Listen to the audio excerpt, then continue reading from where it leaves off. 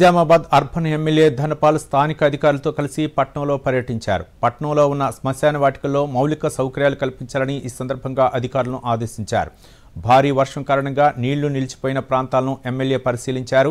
వర్షాలకు ప్రజలు ఇబ్బందులు పడకుండా తగిన చర్యలు తీసుకోవాలని అలాగే డ్రైనేజీల్లో పూడికలను తొలగించాలని ఆదేశించారు.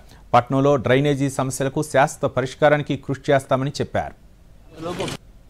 అక్కడ కావాల్సిన రిక్వైర్మెంట్స్ ఏదైతే ఉందో కనీస సౌకర్యాల గురించి ఇవన్నీ కూడా లిస్టింగ్ చేసి దేవి టాకీస్ పక్కన శాంక్షన్ అయిన అమౌంట్ ఉంది. మళ్ళీ దానికి అడిషనల్గా అవసరం పడుతుంది.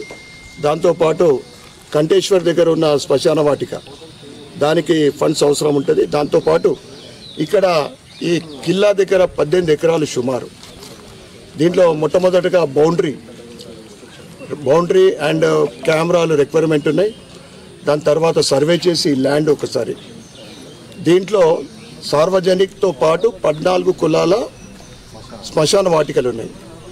ఇదంతా కూడా ఎస్టిమేషన్ వేసి ఒక క్యాలిక్యులేషన్ తర్వాత ప్రభుత్వానికి కావాల్సిన దీనికి కావాల్సిన ఫండ్ మేము ముఖ్యమంత్రి దృష్టికి తీసుకెళ్తాం.